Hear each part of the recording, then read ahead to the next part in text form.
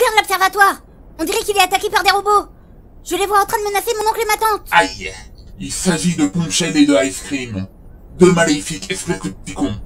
Et sous cette forme, je ne peux pas espérer les battre tous les deux. Qu'est-ce qu'on fait? Si vous pensez que je devrais dire à Naz de foncer sur le plus petit des robots pendant qu'il nous tourne le dos, allez à l'épisode 53.